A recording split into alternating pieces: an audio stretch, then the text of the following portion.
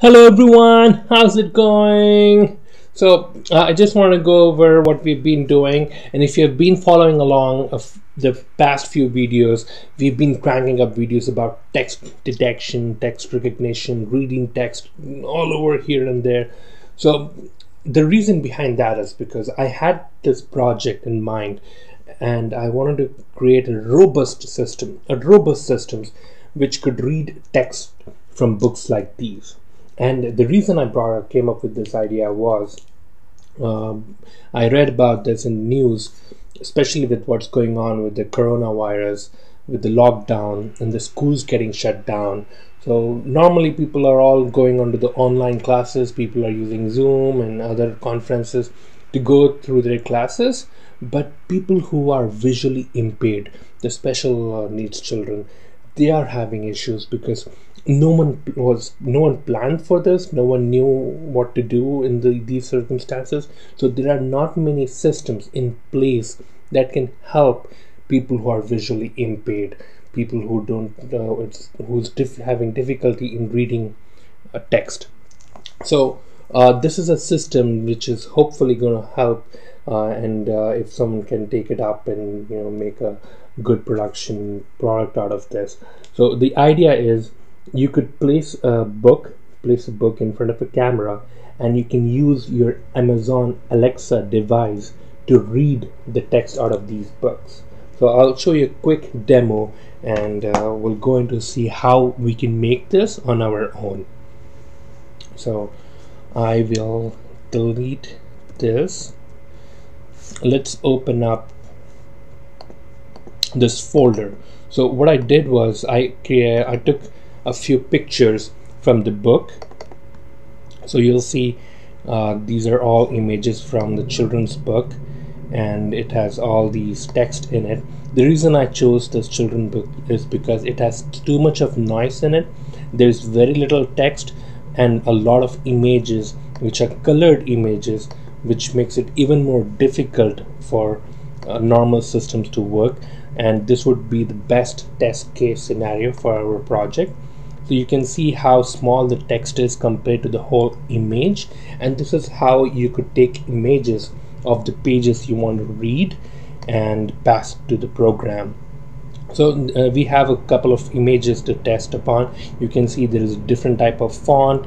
There's too much of noise in the image. Noise in the sense uh, which is the area any information that is not what you're looking for is noise.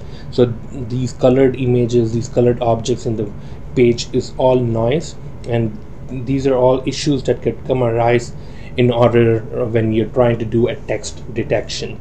But uh, we will see how the program works efficiently and uh, we can detect these text out of these images. So uh, I'll show you how we can run it on a command prompt. So this is the program. Let's read image number two and you will see how it comes up. Let's give it a few seconds because there is a tesseract uh, image recognition library running in the background and this is how it works.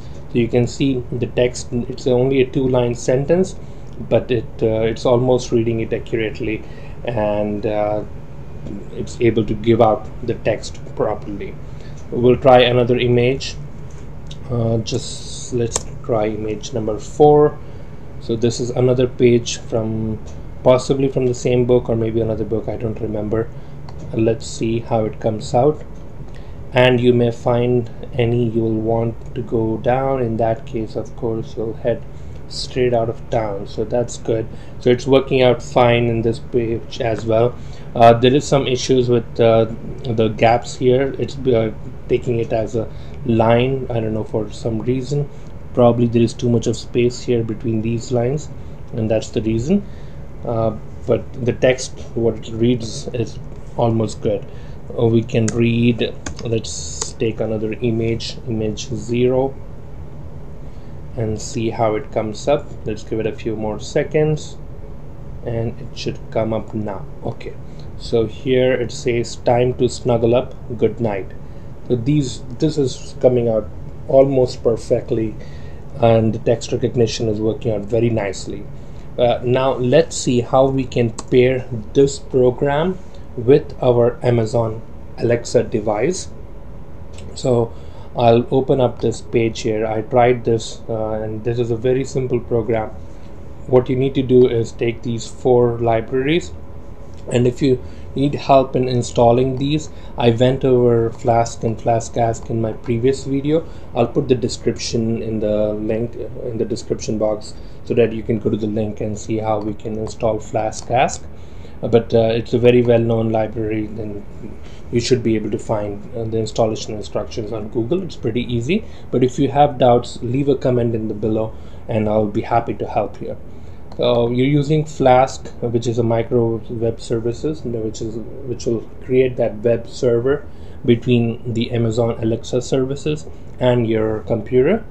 Flask-ASK is nothing but the module which is going to help Amazon Alexa communicate with your program so you can tell what you want Alexa to read.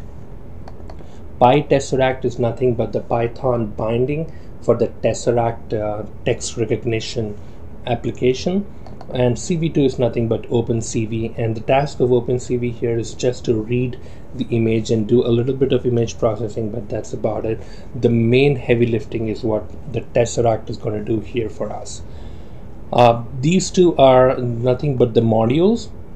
You're going to be using Flask to just to define your server and ask is nothing but setting up your Flask-ASK module. So uh, when Alexa tries to read your program or read your Python program, it knows where it has to read and this ask is nothing but going to guide Alexa into what it has to do when a particular invocation is called. So the next step would be to ask.launch.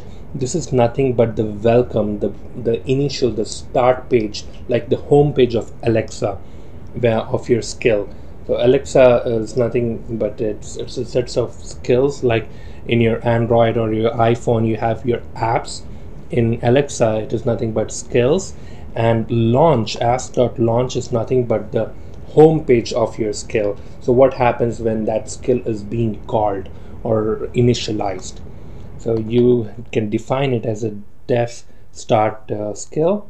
And this is the welcome message that you would want Alexa to read. You can define whatever you want here. In my case I said what do you want me to read? So the moment I call the skill uh, Alexa will greet and say what do you want me to read? And at that point I can tell what page I want Alexa to read.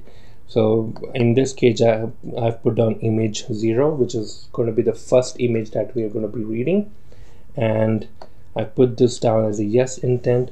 Uh, this I think I copied from the previous program so just, I didn't care to change it but I can change it to image intent image zero intent.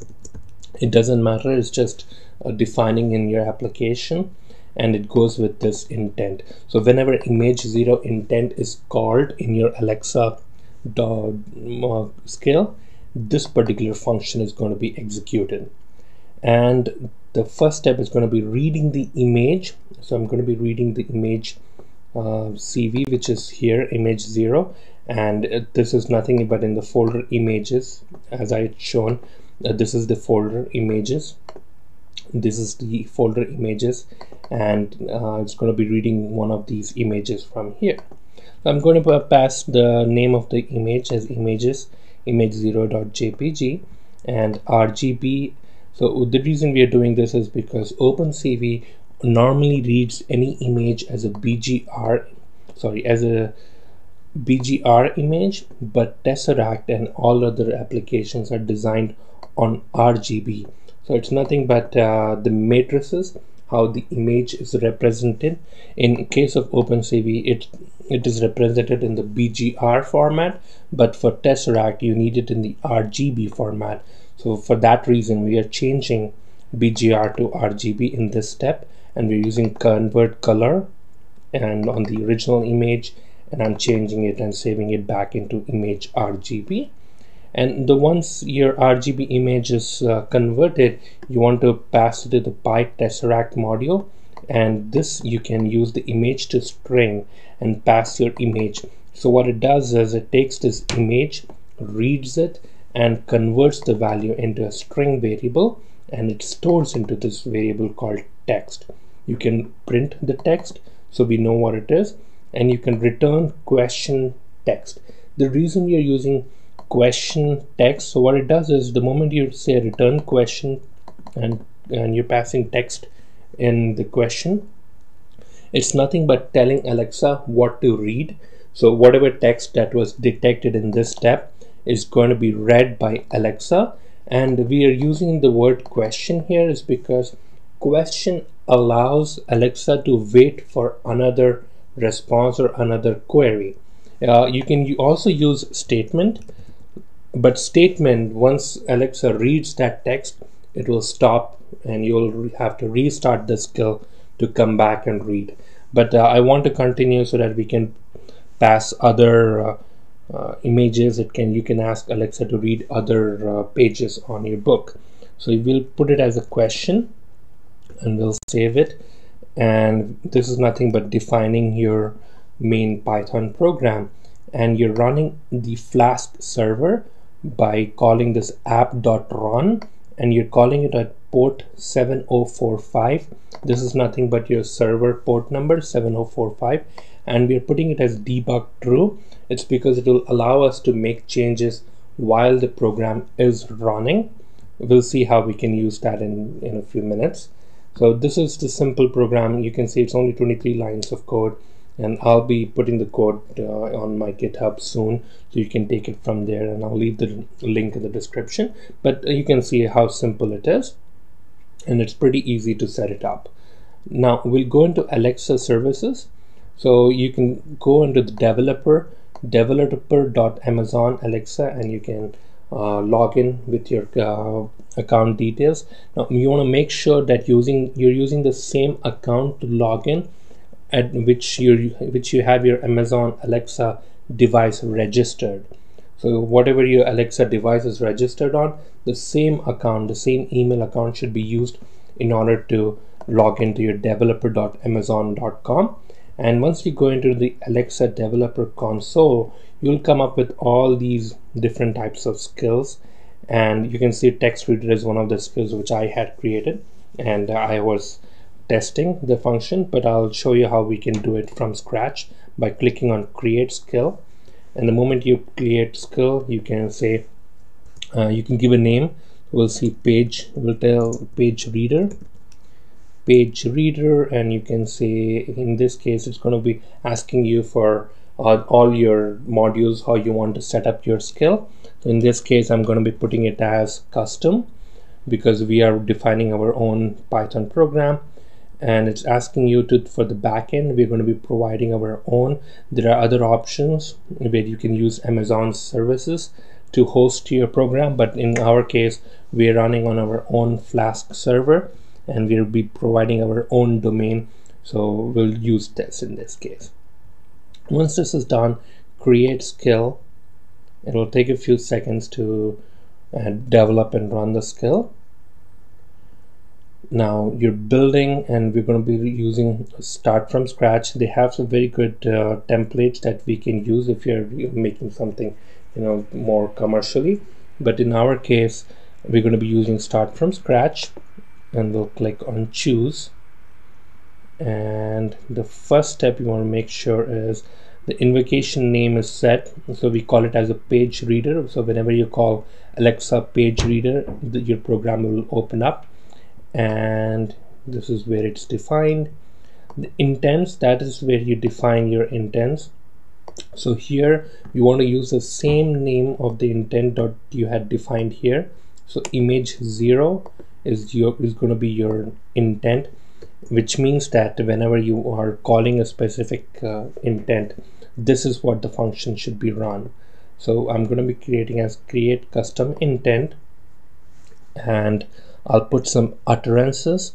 So I'll put read page read first page or first page or if I say read page one so um, these are some of the sample utterances that I want to use or when the reader is going to be using. And once I give out this instruction Alexa will invoke image zero intent. Uh, once you're done with this come down here. You don't need to take you don't need to worry about all of these unless you're developing a full grade full-blown Alexa application. But now come down to endpoints and you're going to be using HTTPS and you have to provide your own URL and for that purpose we're going to be using ngrok and this is how ngrok looks like. So you want to download ngrok and it's a very easy and free web server. You just need to run this program and it will create a web portal between your computer and the outside world.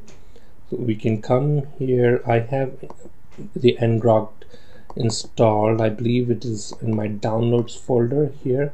So this is ngrok and this is the file you want to run. So you can open up your terminal and ngrok. You want to run this executable file by dot slash ngrok https and you want to provide the port number. So you want to use the port number which you used here 7045 and you want to provide that same port so that it can run on the same program. I think I did a mistake here. So I think it is called as ngrok http let's see if this works out. What is the mistake I'm running into? Http 80 okay so I think we have to use http instead of https so what I had done here instead of https we need to do http so this is running and you can see it has created a local host on 7045 and this is the outside uh, URL which you can use outside your IP outside your local domain. I'm going to simply copy this domain and you want to use HTTPS not HTTP because Amazon wants the secured HTTPS and just by copying it we come back to our domain. We paste it here. You want to use this one? And you're just defining where your Python program is residing. So it's on your computer and it's available on this domain. For SSL certification if you're using ngrok you want to use the this particular one where it says that your domain has a wildcard certificate from a certificate authority because that's how ngrok is cert uh, certified. And once you're done with that save endpoints come back to invocation and build your model. So it's almost done at this stage. We're just going to be building the model and we'll give it a few more seconds the moment I the moment these balls stop running it should be ready. And while in the same time we can come down and test the services. I'm going to close this down. And we're going to be using this one allow. We are going to be using test is disabled but we want to enable. And we'll say that it's in development stage. And we can start calling your skill. So let's see. If we say page reader it should invoke our skill. There was a problem with the requested skills response. So there was a problem. Let's see what the problem could be. It is because our program is not running because you can see this one invoked and you can see bad gateway. So Alexa tried communicating but nothing came up because the program itself the program which we designed here. It is not running so we want to run that and uh, it's here. So I'll say python tesseract alexa.py so now it's running. So let's go back and test it out. Let's see if it works now. We call it page reader. Hi what do you want me to read? So that's good. So this is nothing but reading the first welcome message that we defined here. So this is good. Now we want to provide uh, the first page.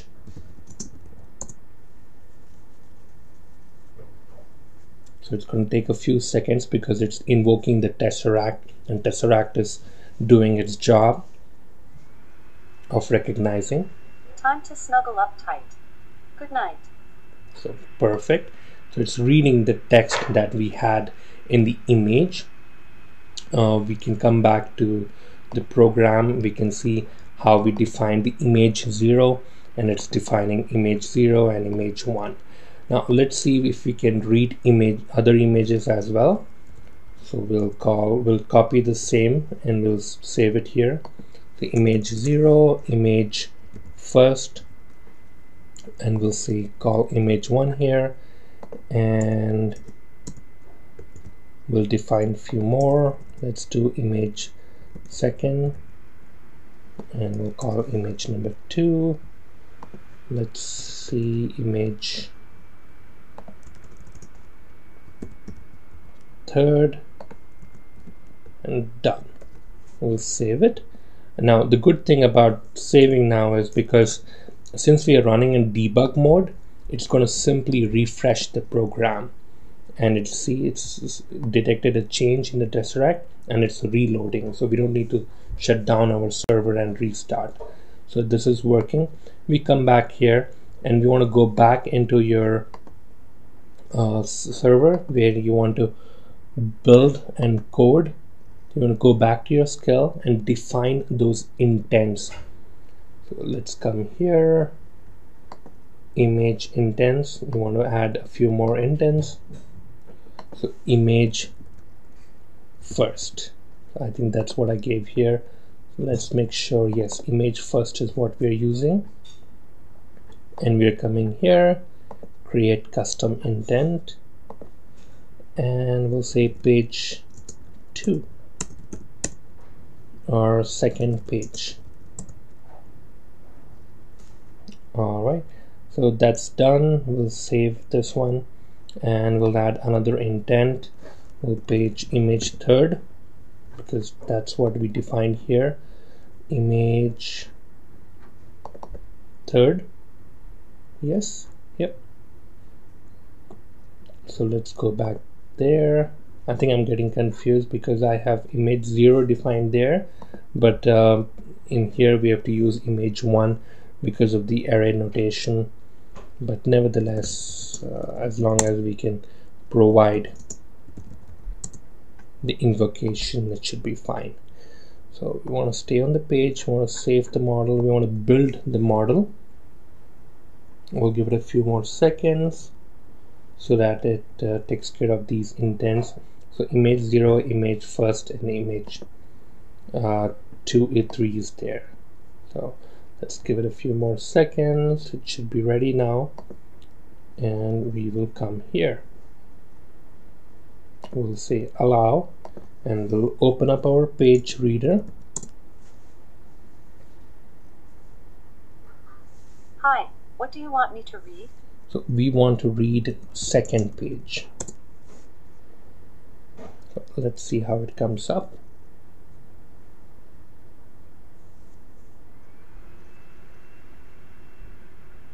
Hop into bed. Snuggle.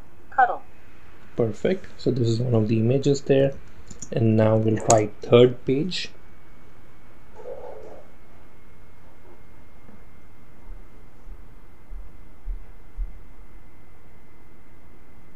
It's opener there in the wide open air.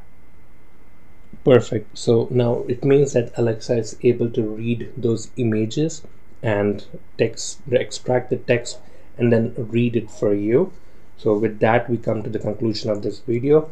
Hope it helps and hope it helps you give a, a platform to build more exciting applications. We're going to try one more application with text detection and recognition soon. Uh, if you like these videos and if you like these projects uh, what I'm doing subscribe to the channel leave a comment or if you have any questions about OpenCV about computer vision AI machine learning leave a comment and I'll be happy to help you. So until then have a good day. Stay safe